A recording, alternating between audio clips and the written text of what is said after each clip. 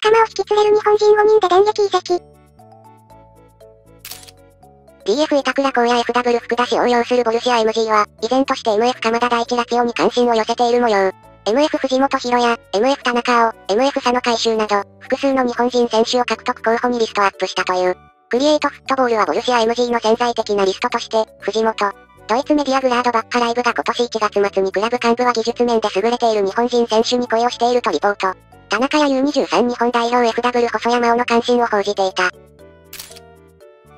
板倉は出る可能性あるけど福田はまだまだいそうだからね。ドイツ支部作ってほしいわ。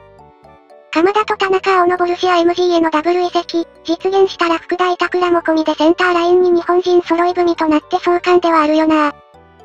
佐野回収とか藤本は良さそうだよね。日本人がいるチームの方が馴染みやすいし。ベルギーのシントトロイデンとかセルティック行くより100倍ボルシア行ける方がいいな。鎌田はまだ CL にこだわりありそうだから難しい。鎌田は冬の移籍でソシエダに来て欲しかった結果論だが、現状を踏まえるとスタメンもあり得たし。